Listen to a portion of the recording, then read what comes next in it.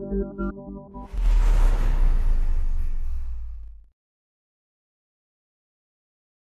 everyone, welcome to Shardeum's Sphinx BetaNet. It has finally arrived, and the new edition of Shardeum's Sharded EVM Layer 1 blockchain means that now you can also participate in Shardeum's vision of decentralization for everyone by launching your own validator node.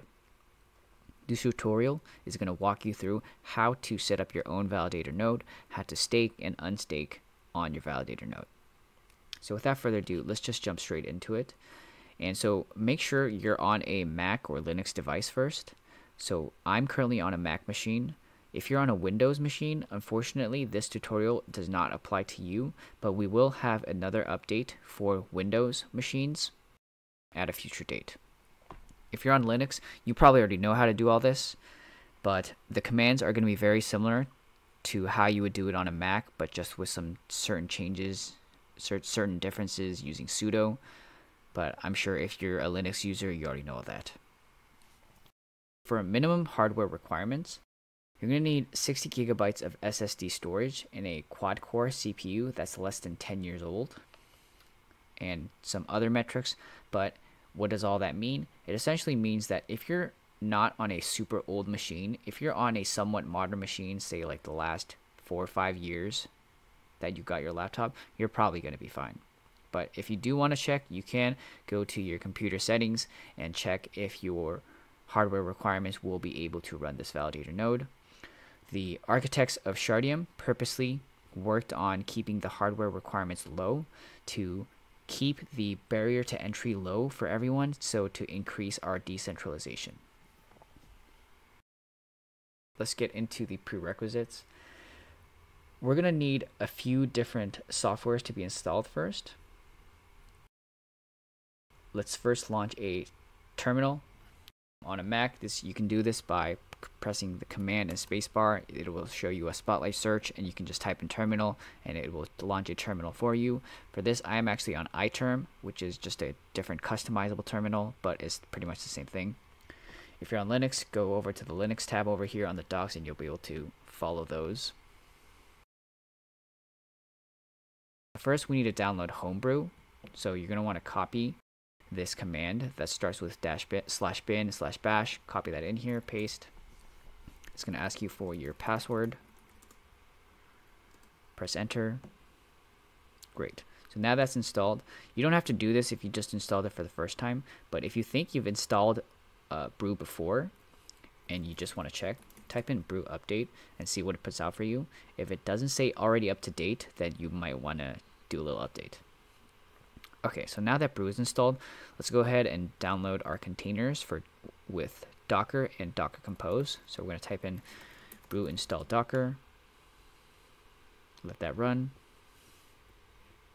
Again, here, if you downloaded Docker before, but you just want to check your version, do a Docker dash dash version and once after Docker is installed, let's go ahead and download Docker Compose as well.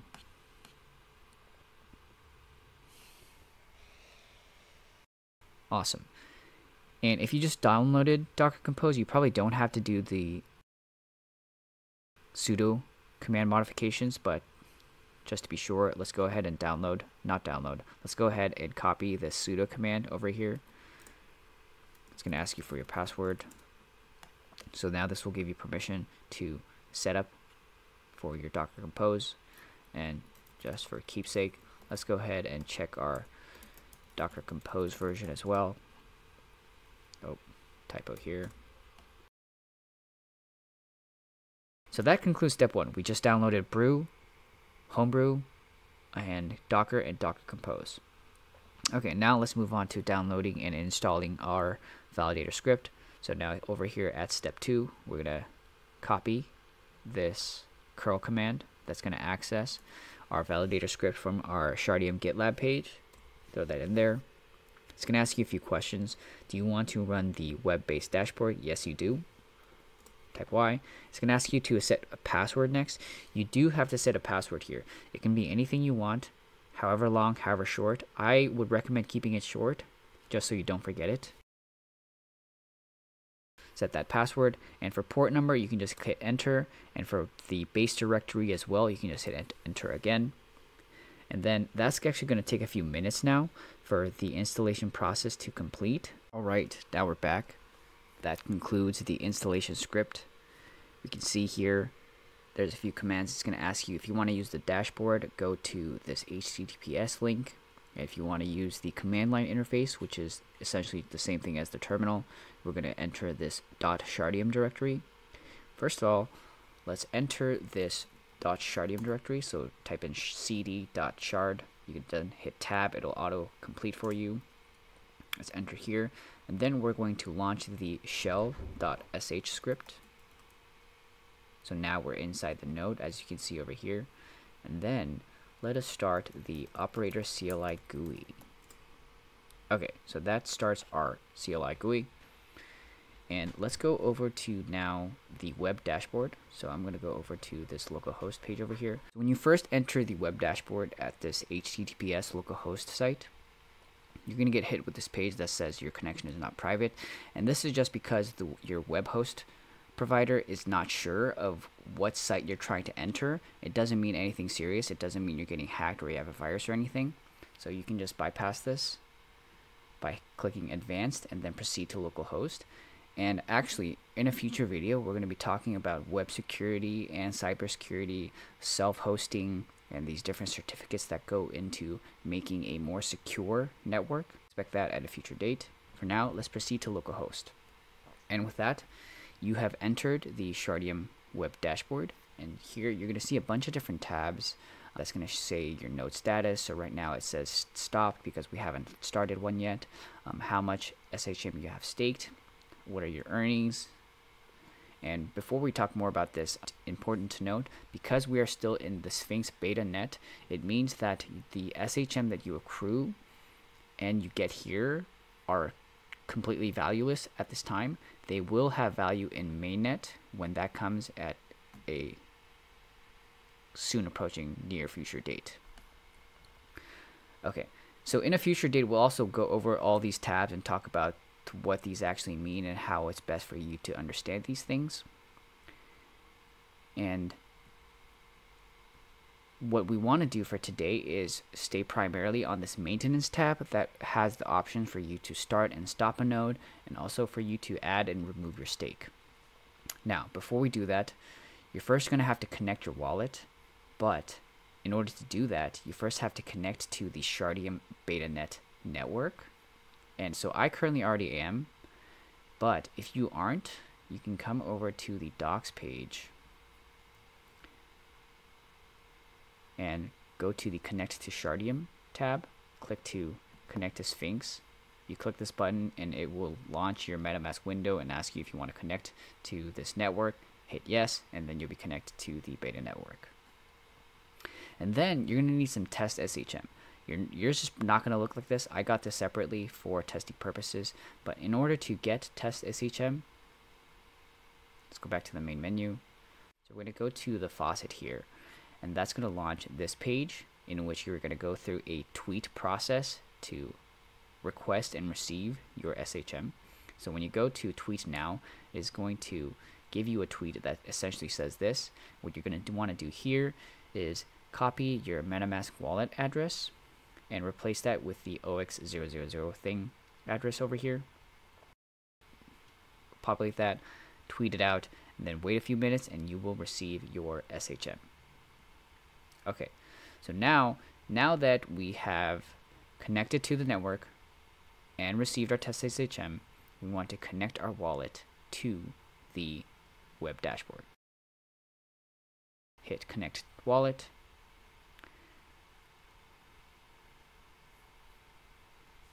You're going to approve. Awesome. then you you might, depending on when you watch this video, you might get hit with this application error page or not. Um, this is a fix that is currently being in works. It's also a similar issue where your HTTPS server is trying to access something from an HTTP site, and so there's a disconnect there. So the web host provider is not sure what's going on. It's not anything to worry about because your wallet still is connected and you can verify this by just going to a different tab and coming back and you can see that your wallet is now connected. So now that we have verified your wallet is connected, we want to start our node. There's a couple ways you can start your node. You can do it here in the GUI by pressing start node, or you can do in the CLI, up to you. If you want to do it in the CLI, let's go back over to the docs here.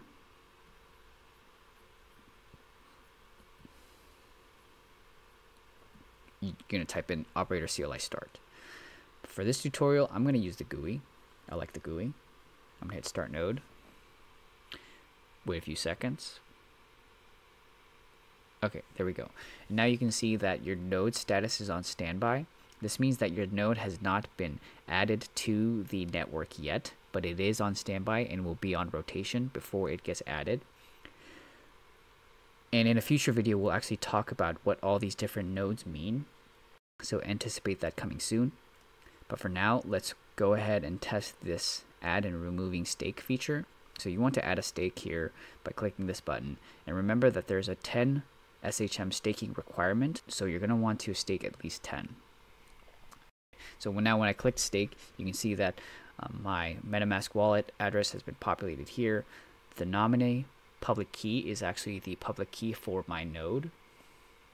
Um, not really relevant for anything that you want to do, but it's just there so you have that for the future. So okay, so let me stake 10. Okay, so then that will take me to my MetaMask page to approve this transaction. I'm going to hit confirm. You can also verify how it's going. You go over here, it's pending right now. Oh, and there we go. It says stake successful over here, and that's probably going to change any second. Okay, so that's taking a little longer, but you can see here that you have successfully staked 10 SHM. Your stake address is over here and you have met the requirements. So now you are staked. You are successfully part of the validator network. Now, if you want to remove, simple as is, you just hit remove stake. It's going to take you back to that MetaMask page. You want to confirm your removal. boom, there we go.